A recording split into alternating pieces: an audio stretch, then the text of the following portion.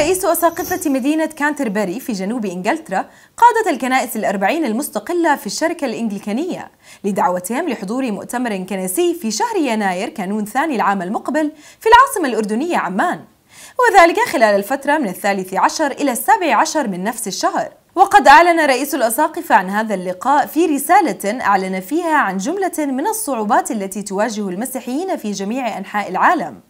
إضافة إلى قضايا عامة كالعنف والفساد والفقر والتمييز الديني وأمور أخرى مرتبطة بتغير المناخ.